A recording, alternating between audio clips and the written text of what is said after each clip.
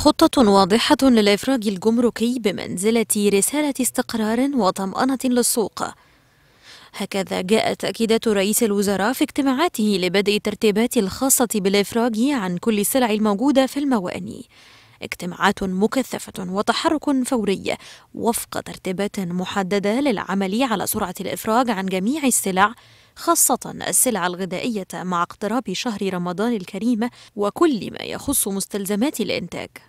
كما تعمل الحكومة من خلال أجهزتها كافة على توفير السلع المختلفة بالأسواق بهدف تحقيق توازن في الأسعار لتخفيف العبء عن المواطنين ولتنفيذ ذلك. يتم تنسيق مع اتحاد الصناعات والغرف التجارية حيث تم الاتفاق على الأولوية لكل ما يخص الصناعات الغذائية حتى لا يشعر المواطن بأي أزمة.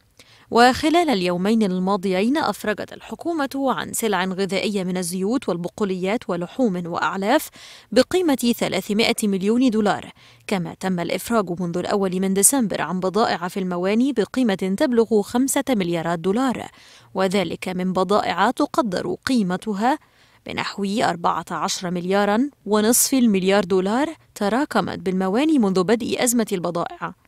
الحكومة بالتعاون مع القطاع المصرفي وضعت خطة للإفراج عن البضائع المتبقية خلال الفترة المقبلة حيث تستهدف الإفراج عن بضائع بنحو أربعة مليارات دولار خلال الأيام القليلة المقبلة والإفراج عن بضائع بنحو أربعة مليارات ونصف المليار خلال الأشهر الثلاثة المقبلة.